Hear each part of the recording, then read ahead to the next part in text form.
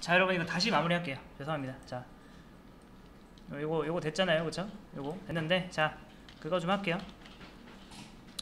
일단 여러분 요게 여기 밑에 보세요. 여기 스크롤 바가 좀 이렇게 가끔 생기거든요 이렇게. 요거는 어쩔 수 없이 뭐 해줘야 되겠어요? 일단 이게 반응형 사이트니까 전 요걸 하겠습니다 반응형 사이트니까 HTML과 바디에 오버플로우 X 히든 이거 걸어주면은 막 한다 하더라도 뭐 그 다음에 overflow Y는 visible 왜 이렇게 되지?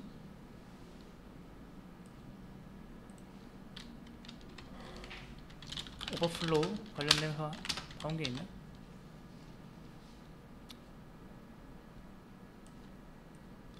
어 이것도 걸고 요것도 걸게요. 요거 여기다가 어, 여기다가 할게요. 여기다가 overflow x 아, overflow hidden 이런 식으로 됐습니다. 자 됐어요. 자 그리고 또 뭐 할까요? 네, 클론 아닌 거. 레드 빼고.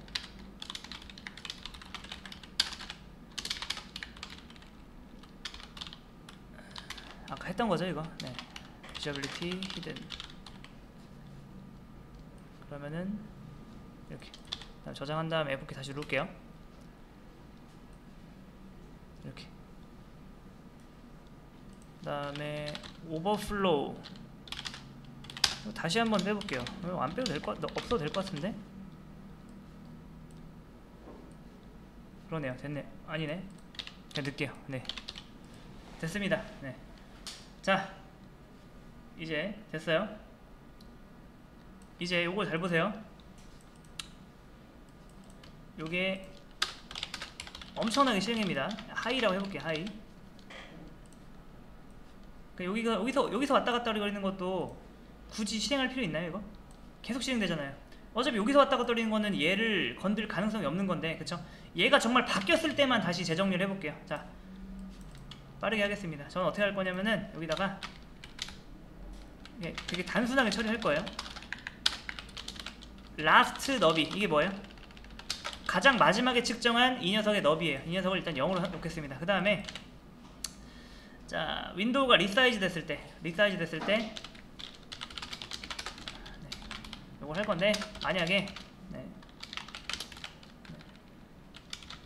뭐야 이거 네 last 너비. 요거랑 네. 너비를 일단 구해요. 너비를. 어, 너비는 요거죠 요거. 일단은 요거를 하나 해놓고서 됐습니다. 일단 이거 하나 해놓고서 여기서 이 녀석의 너비를 구해요.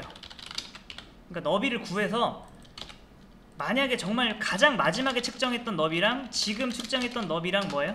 다를 때만 어떻게 한다? 다시 그린다. 그 다음에 요거는 이제 다시 요걸로 이제 갱신 한번 해주고 자 한번 해보겠습니다. 그러면은 네, 끝났어요. 네, 요거는 이해를 하셔도 되고 아니면은 안 하셔도 되고 나중에 근데 갖다 쓸 때 이렇게 쓰면 좋은 거라서 제가 알려드리는 거예요. 자 보시면은 지금 하이가 여기서는 하이가 잠깐만요.